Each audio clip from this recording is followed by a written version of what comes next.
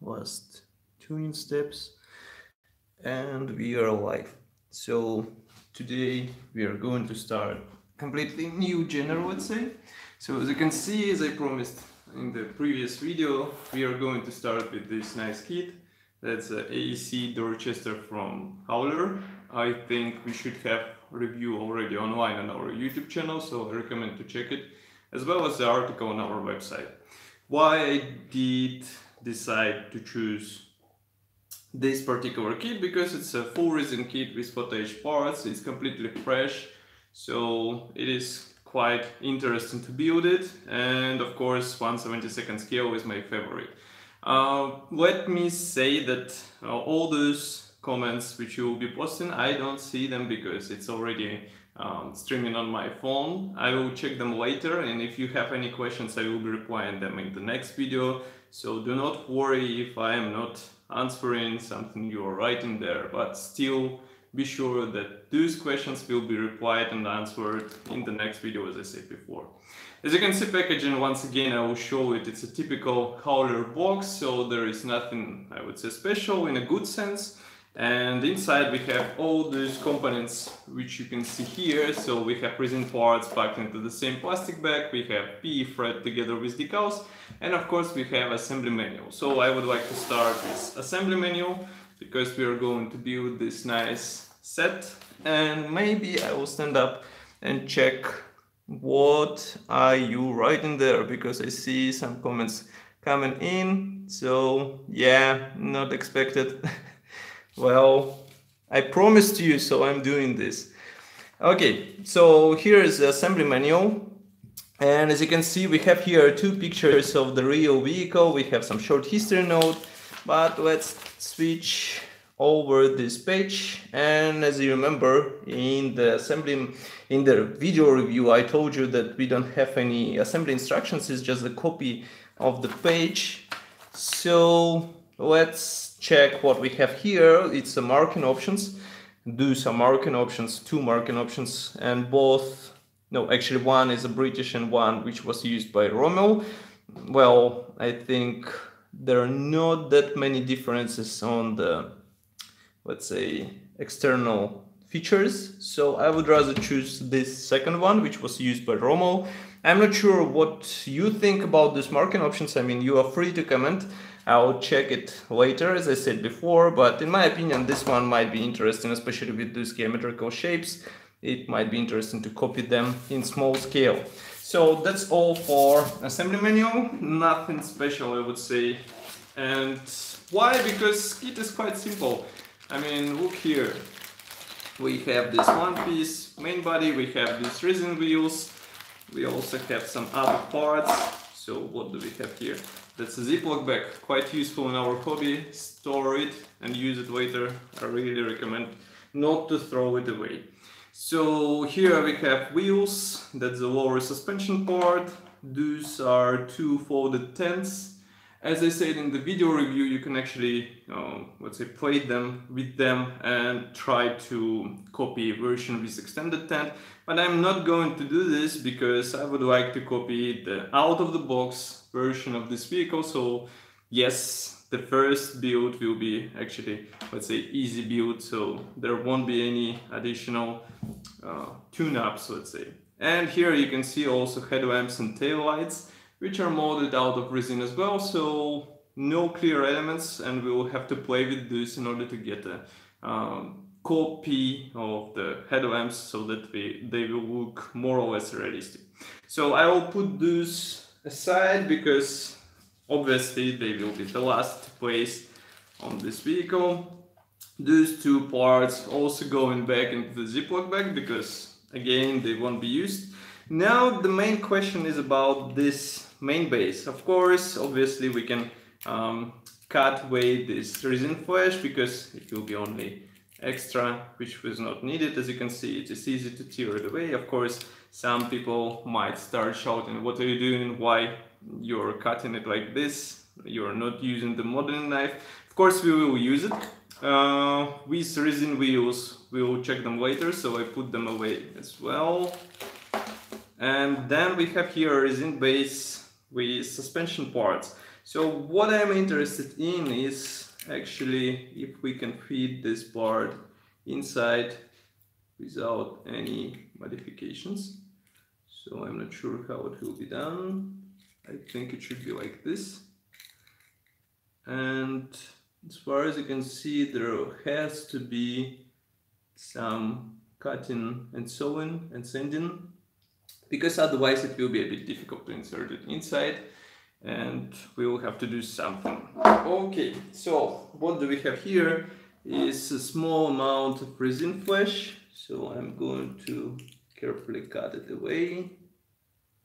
I'm not doing the precise cuts in the moment because as you can see it's just extra bits which are not that handy in our process of dry fitment. Nevertheless, as you can see, they're easy to clean and of course that's not a disadvantage for this kit because it's a resin kit and it's molded by Plus Model, so molding quality should be more or less good. And it's also quite surprising to see cooperation with Plus Model, but from the other side, it is a bit more or less obvious because usually these companies stand together on the same stand during the Nuremberg Toy Fair.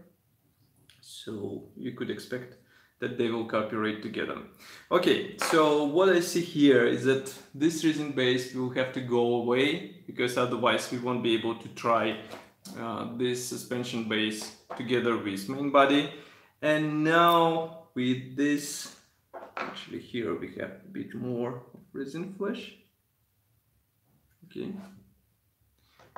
Now we should sew it away and I'm not sure which tool to use because of course we have this small saw but I think we should use something heavy duty like this.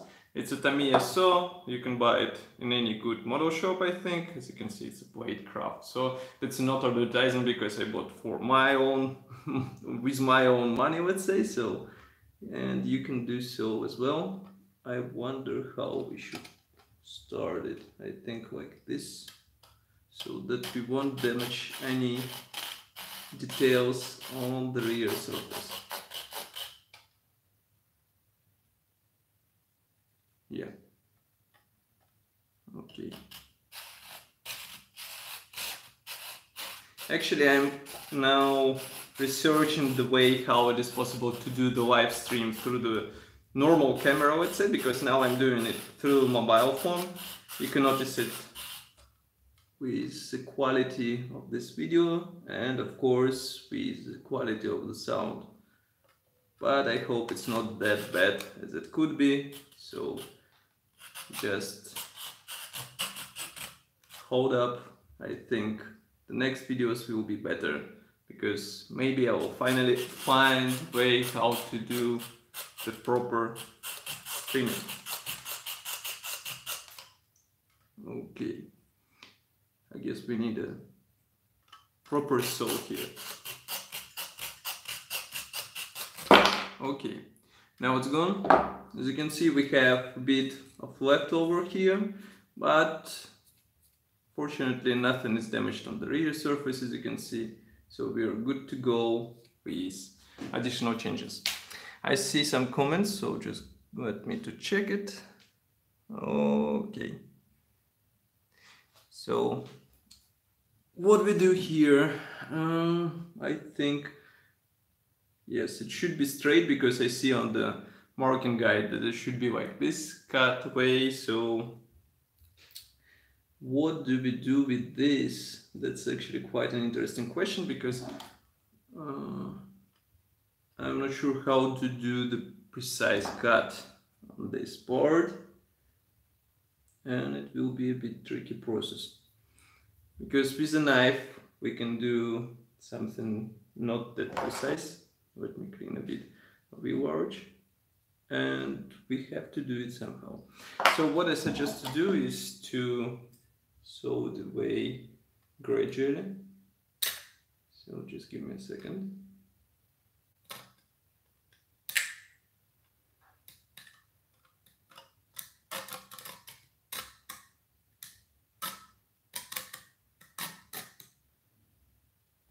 It's always fun to work with resin kits because I mean plastic kits are easy, you just separate the part and you're good to go. But with resin kits, you do all the stuff you can imagine you can do with model.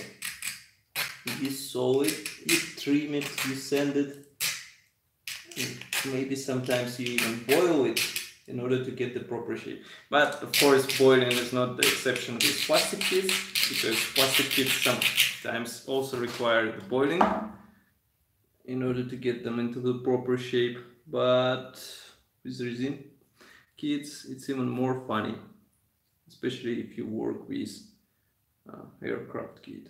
By the way, note here on the rear surface we have some let's say concave shape bursts maybe these were air bubbles. So we will have to work with them somehow in order to mask them. Maybe we'll make it as scratches. Maybe we'll just fill them in. I'm not sure about it. Okay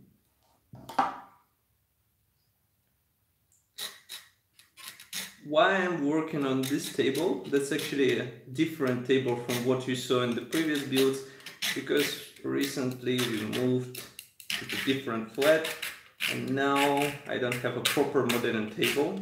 It's a small one from IKEA, and I hope it will be enough for me, enough for this hobby, but of course nothing can stop True Modeler from assembling a model. So I guess that's just a minor problem which will be solved in a upcoming month. And I will actually have the proper modeling station. So now it's becoming more or less what it should be. Just give me a second to use this more so So that mm -hmm think actually we can do it like this. Okay. So be careful with the dust which is created when you sew in the resin bits because sometimes you can accidentally inhale it and then you will have problems. So either wear a mask or be crazy like me and don't wear it. Anyway, now it's more or less working out as it should be. Maybe it should be the other, no, it should be like this. First, at first I thought that it should be a other way around, but I think it should be like this. And yes, now it fits inside. I'm not sure actually about this frontal section, just give me a second actually it should be inserted even deeper into the vehicle. So it should be like this. Yes now we have it in the proper shape. So here you can see it in the place. Actually I'm not sure if we should use a super glue or CA glue the one I mean which one you prefer. Because as you can see it's more or less tight fit and frankly speaking I hate to use CA glue in such large spaces when they're tight fit. Of course I will have to remove it in order to uh, let's say brush away all the resin dust but otherwise it's it looks quite good and I think maybe I'll add several dots of CA glue but I'm not sure here or there. Maybe on this surface and also on this surface.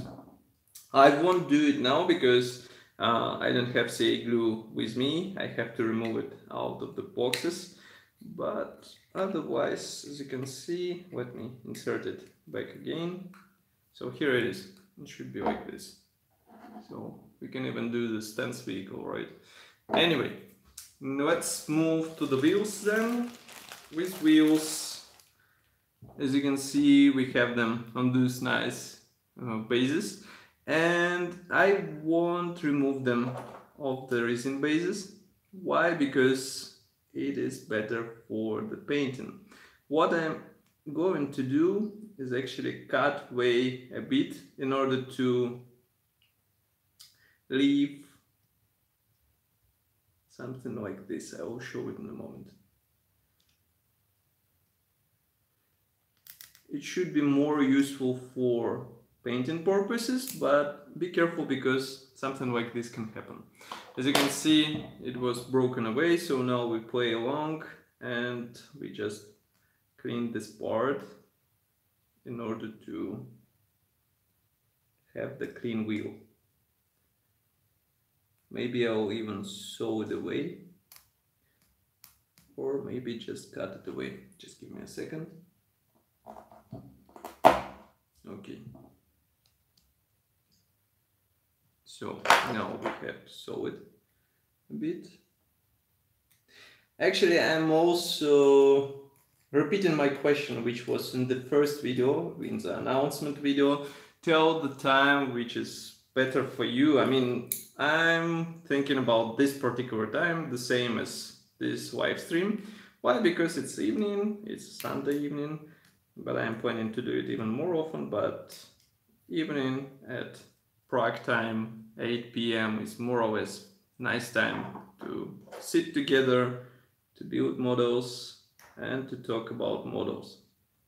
Frankly speaking, I uh, this summer was quite I would say, chaotic. So I missed some modeling events. As you saw, I came back on this Polzen model exhibition, which was quite interesting to see because there were plenty of interesting builds. And if you missed it, I recommend to check because there were mm, really nice aircraft models and tank models. What surprised me was that there were less armor builds, there were more of aircraft builds. Here you can see, by the way, how the wheel will fit into the wheel arch. Looks nice.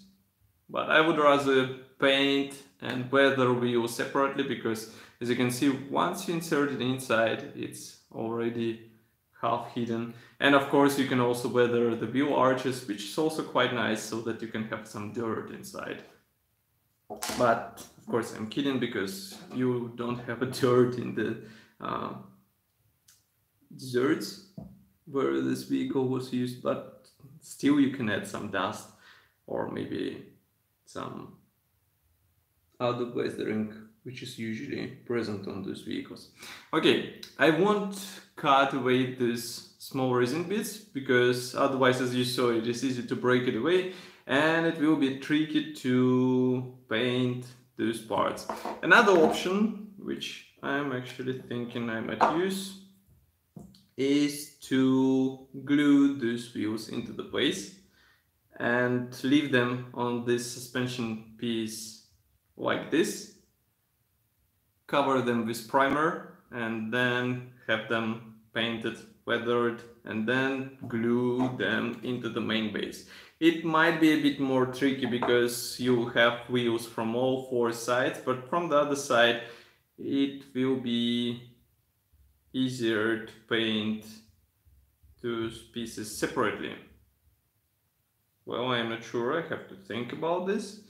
But what I'm 100% sure is that I won't install the small pieces into the place. What I might install is this small bonus which is hidden aside. Of course, I want to use decals at the moment, so we put them aside as well.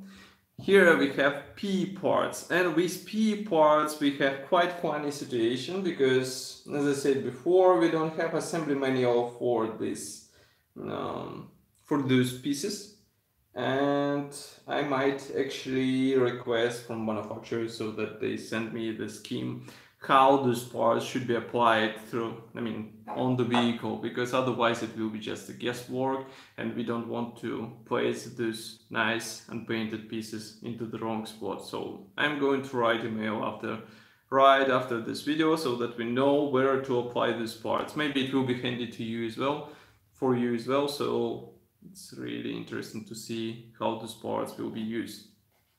But as you can see, we've done the first step. We sawed off this rear section, this small resin base. Once again, I remind you that it is casted by Plus model.